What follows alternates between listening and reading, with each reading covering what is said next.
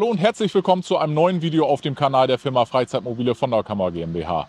Wie in der Umfrage gewünscht, zeigen wir euch jetzt in diesem Film den Carado T447 als Edition 24 und in dem Fall hier aufgebaut auf dem Ford Transit Chassis mit Automatik.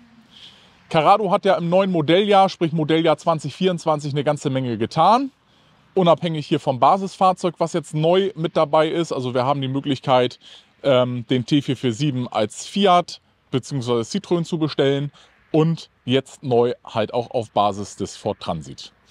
Ich persönlich finde den Transit ein wirklich schönes Auto.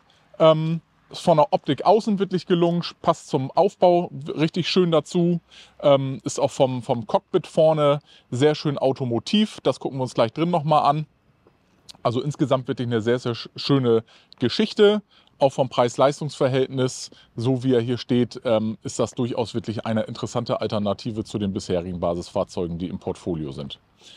Wir gehen mal einmal außen rum, gucken einmal rauf. Wir haben schon bei dem letzten Video von Carado gesehen, geänderte Außengrafik haben wir im neuen Modell ja mit dabei, sprich andere Außenabklebung.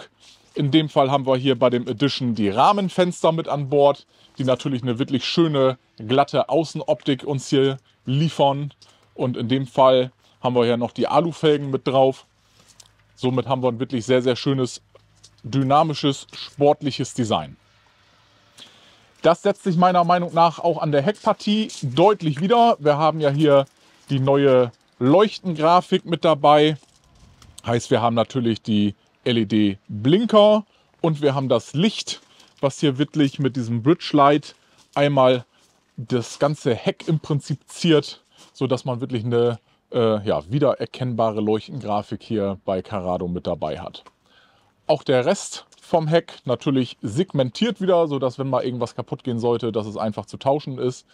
Und natürlich haben wir hier GFK Heckwand und GFK Dach mit an Bord, so dass das alles unempfindlich ist gegenüber Hagel und sonstigen Einflüssen. Wir haben eine zweite Garagenklappe mit dabei. Das darf natürlich auch nicht fehlen, sodass wir auch von dieser Seite hier einen entspannten Zugriff haben auf unseren, Heckstauraum. Was der uns bietet, das sehen wir gleich nochmal auf der anderen Seite. Wir gucken uns nochmal den Transit vorne vom Kopf her genauer an.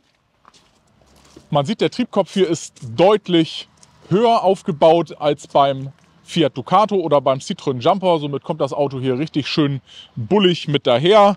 Wir haben die Nebelscheinwerfer mit dabei. Wir haben eine Radioantenne hier vorne auf dem Kotflügel, was sicherlich auch nicht schadet, denn Radioempfang beim Reisemobil ist ja immer wieder ein Thema. Somit haben wir da also vom Basisfahrzeughersteller direkt eine vernünftige Lösung mit an Bord. Als Edition 24, so wie er hier steht, haben wir natürlich auch die Plissé-Verdunklung vorne schon mit dabei, ähm, sodass wir unser Fahrerhaus hier auch vernünftig verdunkeln können. Wenn wir auf die Türseite schauen, können wir sehen, wir haben hier natürlich eine Markise direkt mit ab Werk verbaut. Wir haben hier eine schöne Aufbautüre mit dem Fenster, mit der Verdunklung drin. Fliegenschutz darf natürlich auch nicht fehlen, haben wir hier natürlich auch mit an Bord. Toilettenfach, das lassen wir jetzt mal außen vor. Das kennen wir zu Genüge. Das habe ich gerade eben schon mal aufgeschlossen. Da haben wir das Gasfach in dem Fall haben wir hier zwei hintereinander stehende 11 Kilo Gasflaschen. Dann werfen wir einen Blick in unsere große Heckgarage. Dank unseres Einzelbettengrundrisses haben wir hier im Heckabteil wirklich sehr, sehr viel Platz. Zweite Garagenklappe haben wir gerade auf der anderen gegenüberliegenden Seite schon gesehen. Wir haben hier natürlich einen abgesenkten Stauraum. Wir haben hier die Zurschienen mit dabei. Wir haben natürlich auch eine Beleuchtung mit dabei. Steckdose 230 Volt ist hier direkt über der Leuchte installiert, sodass wir auch hier unsere E-Bikes zum Beispiel laden können, wenn sie hier drinnen drin stehen. Wir haben hier noch Staufächer auf der rechten zum Innenraum gewandten Seite, sodass wir da auch noch diverse Kleinteile unterbringen können. Und wir messen hier auch noch mal einmal das Garagenmaß, was wir hier haben. Da haben wir eine Höhe von 1,19 Meter, eine Breite von 2,18 Meter und wir haben hier eine Tiefe von 1,15 Meter.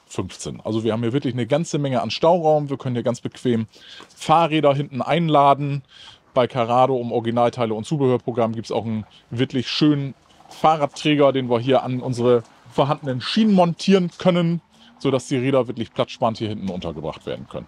So, jetzt sitzen wir drin im T447 Edition 24 auf Basis des Ford Transits.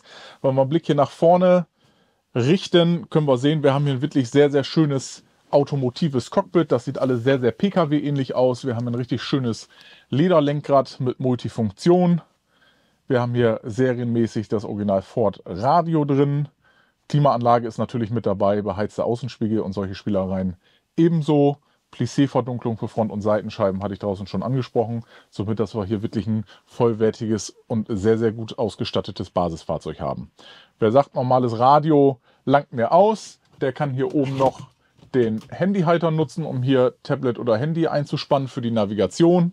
Wer sagt, brauche ich nicht, ich möchte das Ganze fest installiert haben, der lässt, das, lässt es dort, wo es ist. Und es gibt hier auch im After Sales wirklich schöne Geräte ähm, mit 9 Zoll Display, die wir hier einbauen können, um entsprechend Navigation und Rückfahrkamera dort drauf zu kriegen. Sitzgruppe haben wir in dem Fall eine normale Seitensitzgruppe mit einem wandangeschlagenen Tisch. Hier mit unserem Seitensitz nochmal. Oben drüber auch im Edition 24 Paket mit drin unser Fenster in der T-Haube, was natürlich hier nochmal enorm viel Licht und Luft mit reinbringt. Das können wir öffnen, das ist verdunkelbar und natürlich auch mit Moskitonetz versehen. Hier vorne bietet der Transit uns noch ein bisschen Ablagefläche über den Sonnenblenden. Die können wir nutzen und natürlich haben wir hier auch hier oben noch mal ein bisschen Ablagefläche mit einer großen Rüttelkante, sodass wir hier auch noch mal das ein oder andere kleine Teil unterbringen können. Ansonsten haben wir natürlich Carrado-typisch den Möbelbau mit unseren wirklich sehr, sehr hochwertigen Scharnieren mit dabei, sodass sie automatisch schließen. Wir haben hier im vorderen Bereich unter unserem Seitensitz noch ein schönes Fach, was wir für Schuhe zum Beispiel nutzen können. Das Ganze setzt sich fort im Bereich der Küche. Da haben wir das Ganze nochmal mit Borte unterteilt. Und natürlich, so wie wir es von Carado kennen, beim T447 hier unsere Winkelküche mit Spülbecken, mit der Ablage, zweiflammiger Kocher von Kahn mit elektrischer Zündung. Und wie wir es bei Carado gewohnt sind, hier unsere Schubladen in wirklich Haushaltsqualität mit richtig vernünftigen Auszügen, mit Softclose, so dass wir hier alles, was wir an Küchenutensil brauchen, auch ganz entspannt und sicher unterbringen können. Zudem haben wir hier nochmal 12 Volt, 230 Volt Strom. Unsere Gasabsperrhähne sind da wirklich vernünftig und griffbereit untergebracht. Und natürlich hat man hier auch an den Mülleimer gebracht, äh, gedacht, der hier direkt in dem Unterschrank der Spüle untergebracht ist. Auf der anderen Seite, wir können ja einmal die Seiten tauschen, haben wir hier unseren großen Kühlschrank. Auch der ist beim Edition 24 mit im Paket enthalten. Wir haben hier einen großen Tedford Kühlschrank mit 167 Litern mit separatem Gefrierfach. Sehr, sehr schön untergebracht hier an dieser Stelle. Der Kühlschrank hat AES, sprich automatische Energiewahl. Wir brauchen uns hier nicht mit quälen, dass wir den Kühlschrank umstellen müssen, wenn wir irgendwo angekommen sind, sondern wir stellen das hier ein und machen das in dem Fall völlig automatisch, ohne dass wir da ein Knöpfchen drücken müssen. Der Kühlschrank niedrig eingesetzt hat hier den Vorteil, dass wir hier oben relativ viel Platz haben, bietet uns ein sehr, sehr schönes Raumgefühl und gleichzeitig haben wir hier ein Plätzchen für unser TV-Gerät, denn das Auto ist schon ausgestattet mit einer vollautomatischen SAT-Antenne mit unserem Teleco-Fernseher, den wir hier drin haben. Das Ganze kann man rausziehen. Wir können das Ganze auch noch rumschwenken auf die andere Seite und wir können es natürlich wieder reinschieben und für die Fahrt entsprechend sichern. Griffgünstig untergebracht haben wir hier unser Bedienpanel und unser Heizungspanel, in dem Fall das Thoma CP Plus Panel. Dieses Fahrzeug hier ist ausgestattet mit einer Thoma Kombi 6e Heizung. Also wir haben hier die Möglichkeit, wie man hier an dem Netzstecker sieht, der dort gezeigt wird, nicht nur im Gasbetrieb zu heizen, sondern wir haben hier auch zwei 900 Watt Elektroheizstäbe in dem Heizgerät verbaut und können somit entweder rein elektrisch, rein Gas oder auch im Mixbetrieb hier unsere Heizung betreiben. Weiter geht's hinten im Abteil Bad-Bett-Bereich. Wir haben hier natürlich wieder unser Raumbad. Auch hier hat sich ein bisschen was getan im Modelljahr 24. Der Möbelbau an sich ist ja von der Farbgebung etwas anders geworden. Sprich, unsere Holzflächen sind andersfarbig. Unsere Oberschrankklappen sind anders von der Farbe. Somit haben wir wirklich einen sehr, sehr schönen und modernen Look hier im Fahrzeug. Wir haben es jetzt hinten ein bisschen angeschrägt, was auch wirklich sehr, sehr schön ist, weil wir hier eine ganze Menge Raum dadurch gewinnen. Wir gucken uns einmal unsere Dusche an. Die ist natürlich sehr, sehr schön groß. Wir haben hier unten die Einlage drin, die wir dann zum Duschen natürlich rausnehmen. Und somit haben wir hier eine sehr, sehr schöne Dusche mit Dachhaube, mit Stange zum Handtuch trocknen, die entsprechend schon an der Decke montiert ist. Wir haben eine richtig gescheite Duscharmatur.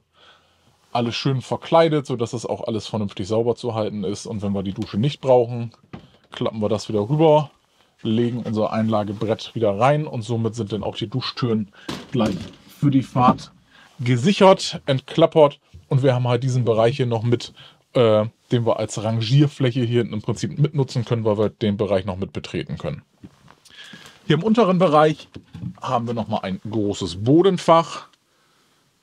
Das bietet sich an für Schuhe etc. Alles, was man irgendwie unterbringen muss und vielleicht nicht alle fünf Minuten ran muss, können wir das da ganz entspannt unterbringen. Dann schauen wir einmal einen Blick ins Bad. Wir haben ja hier klassisch bei unserem T447 die Raumbadlösung, heißt unsere Türe hier schlägt auch hier drüben an und verschließt hier, sodass wir hier diesen Bereich wirklich abtrennen können. Und somit haben wir hier jetzt auf der rechten Fahrzeugseite unser seitlichen Toiletten Raum hier mit Waschbecken an der Wand. Wir haben hier ein bisschen Ablage oben auf der linken Seite. Wie gesagt, Schrankraum hier mit Borten, sodass wir hier unsere Badutensilien entspannt unterbringen können. Unter dem Waschbecken noch ein großes Fach. Ein schönes aufgesetztes Waschbecken hier, was wir wirklich gut benutzen können. Man kann mit dem Kopf da vernünftig rüber, weil wir keine Schrankborte oder sowas im Weg haben. Und wir haben hier natürlich auch Möglichkeit, hier nochmal ein Handtuch und einen Waschlappen aufzuhängen und entsprechend zu trocknen. Dachhaube ist da mit dabei, damit wir auch ein bisschen Frischluft kriegen. Und hier im Bereich der Tür haben wir auch nochmal Spiegelfläche und auch nochmal was, um unsere Handtücher aufzuhängen. Möbelbau hier hinten haben wir schon gesehen. Wie gesagt, unsere neue Schrankfarbe und Optik setzt sich natürlich auch hier hinten fort. Wir haben die linken und die rechte Seite hier nicht mehr nur als Borte, sondern wirklich vernünftig jetzt nutzbar, sodass wir da entsprechend auch was unterbringen können. Wir haben gesehen, dass wir unsere Rahmenfenster ja mit dabei haben. Dementsprechend haben wir hier auch ein richtig schönes gerahmtes Innenleben, wo dann entsprechend unser Remis Verdunklungs- und Fliegengittersystem untergebracht ist. Bettenlänge, immer wieder ein großes Thema, zumindest für große Leute. Das hat Carado aber auch in diesem Fall wirklich paar Excellence gelöst. Wir messen einmal die rechte Seite. Die müsste das längere Bett sein. Das sind 2,15 Meter Liegelänge, die wir dort haben. Und auf der Fahrerseite haben wir eine Länge von 2,08 Meter. Also wirklich zwei Betten deutlich über 2 Meter. Das haben wir selten. Meistens sind wir bei einem irgendwo bei 1,95 und das andere irgendwo so glatte 2. Hier tatsächlich 2,15, 2,8 Meter. Auch die Breite ist hier vernünftig. Wenn man jetzt mal misst hier von der Matratzenkante, das sind 85, die wir da haben. Wir haben ja aber im Schulterbereich im Prinzip nochmal die Hälfte der mittleren Matratze mit dazu. Somit sind wir dann sogar bei 1,10 Meter, die wir hier oben in der Breite haben. Und wir haben hier in diesem Fall auch noch die Auszugsmöglichkeit mit dabei. Dafür ist das Kissen, was wir hier liegen haben, sodass wir hier ganz bequem dieses Teil rausziehen können. Das schieben wir nach hinten und legen dann dieses Polsterteil hier noch entsprechend mit ein und haben dann eine wirklich große Liegewiese, die uns hier hinten wirklich richtig, richtig viel Platz bietet. Wer ein bisschen sportlich ist, kommt auch trotzdem noch über die eine Stufe bequem ins Bett. Derjenige, der es ein bisschen komfortabler haben möchte, der hat die Möglichkeit, hier auch noch eine Leiter ranzustellen. Die ist natürlich mit dabei, sodass wir dann hier von unten direkt ins Bett einsteigen können.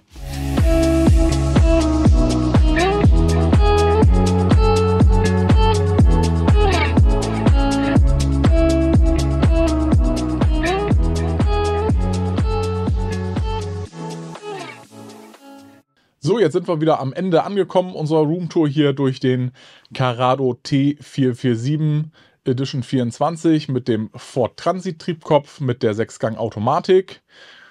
Ähm, wir haben eine ganze Menge Ausstattung schon mit dabei, das haben wir schon gesehen. Fängt an hier mit unserem Triebkopf, in dem Fall mit dem 155 PS Motor mit Automatik. Wir haben Sattantenne dabei, Fernseher ist mit dabei, Markise ist mit dabei, serienmäßig das Radio ist mit drin und, und, und. Also da steckt eine ganze Menge Ausstattung mit an Bord. Die verlinken wir euch nochmal einmal unten in der Videobeschreibung, beziehungsweise ihr habt auch den Link zu unserem äh, Börseninserat, sodass ihr genau das Auto euch nochmal angucken könnt, Fotos dazu findet und weitere Informationen, die wir da euch zu diesem Fahrzeug bereitstellen. Wir haben hier einen Grundpreis von 71.099 Euro. Dazu kommen 6.109 Euro für Zusatzausstattung. Das ist wie gesagt einmal der größere Motor, Bettumbau zu Doppelbett, große Heizung mit Elektroheizstäben, Holzrost in der Dusche so dass wir hier auf einen Gesamtpreis inklusive Fracht und Überführung von 77.208 Euro kommen. Jeder weiß, die Preise haben sich in den letzten Monaten sehr stark entwickelt. Ich finde aber trotzdem passt dieses Konzept, so wie er hier steht, wirklich gut in die Welt. Wir haben hier wirklich eine vernünftige Rundum-Ausstattung und brauchen da nicht mehr anfangen, groß jetzt äh, Tod und Teufel noch wieder einzubauen und äh, blähen damit den Preis wieder nach oben auf. Nee, in dem Fall haben wir hier wirklich schon ein sehr, sehr gutes Gerüst. Ähm, und das für 77.000 Euro inklusive 155 PS und Automatik, finde ich, kann sich wirklich sehen lassen. Maße, natürlich auch wichtig, 6 Meter, nee, 7,36 Meter haben wir hier in der Länge, 2,32 Meter in der Breite und 2,93 Meter misst das Auto in der Höhe. Und auch wichtig, 3,5 Tonnen Gesamtgewicht haben wir so, wie er hier steht. Und die Masse im fahrbereiten Zustand sind 3034 Kilo auch so, wie er hier steht. Sprich die Konfiguration mit der Zusatzausstattung, die wir dabei haben, inklusive einem Fahrer mit 75 Kilo, 20 Liter Wasser, 90 Prozent Kraftstoff, eine gefüllte Alugasflasche, Bordwerkzeug und Stromanschlusskabel. Somit haben wir hier ein Auto, was mit zwei Personen mit den dreieinhalb Tonnen durchaus fahrbar ist. Ähm, wir haben ja auch die Möglichkeit hier die Version mit Hubbett zu bestellen. Dann kommen natürlich ein paar Kilo dazu. A fürs Bett selber, B für die Personen, die wir entsprechend noch mit dazu nehmen, die dann das Hubbett nutzen. Da ist es wahrscheinlich sinnig, sich über eine Auflastung Gedanken zu machen, aber in dem Fall haben wir hier als dreieinhalb Tonner wirklich eine gute Basis, sodass wir auch noch das ein oder andere einladen können. Ja, schreibt es gerne mal um die Kommentare rein. Was sagt ihr zum Ford Transit? Ähm, was sagt ihr zum neuen Möbelbau innen? Ähm, wir haben ja schon den Carado i338 vorgestellt vor kurzem. Wer sich für einen integrierten interessiert, der kann sich das Video ja auch nochmal anschauen. Da kann man auch schon den neuen Möbelbau sehen. Ähm, mir gefällt es wirklich gut. Es ist wirklich ein stimmiges Gesamtbild, wenn man hier drin sitzt. Man fühlt sich wirklich gleich wohl. Und ich sage erstmal Danke fürs Zuschauen und bis zum nächsten Video.